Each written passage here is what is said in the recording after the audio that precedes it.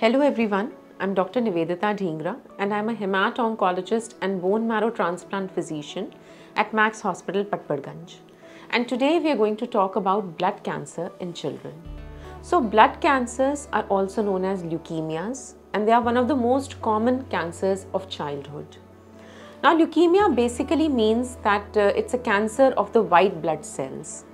The symptoms of leukemia that can happen include the child being anemic, that is having a low hemoglobin value, which results in the child not being active, not being playful, feeling very tired and lethargic. The platelet count in leukemia can be severely reduced, which results in bleeding symptoms. So children can have skin and mucus bleeding, they can have bruises on the skin, they can be bleeding from the nose. Apart from that, a lot of children with leukemia have unexplained fever and recurrent infections. Other symptoms that could indicate an underlying diagnosis of blood cancer or leukemia include having bony pains or joint pains in childhood. Then sometimes lymph nodes which are palpable, they can be enlarged in the neck, in your armpits or groin areas which can feel as a lump. So one of the most simplest tests that can be done to identify leukemia in a child is just to get a simple complete blood count with a peripheral blood smear examination done. But to make a further more accurate and refined diagnosis, your doctor would have to perform a bone marrow test because in children there can be two types of leukemia. The more common one is acute lymphoblastic leukemia and the less common one is acute myeloid leukemia. However, both forms of leukemia need urgent diagnosis and treatment and they require hospitalization.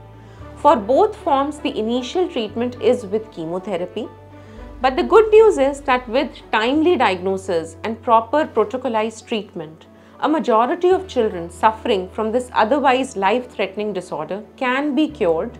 However, there are certain children that may have high risk leukemia or in some cases even after treatment the leukemia can come back.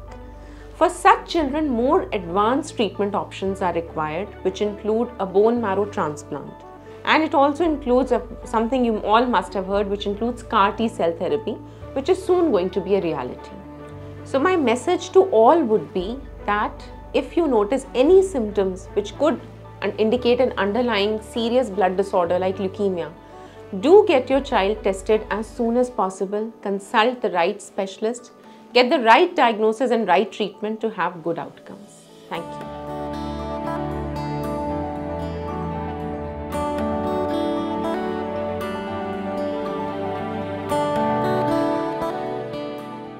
Subscribe to our YouTube channel and press the bell icon to get the latest healthcare updates.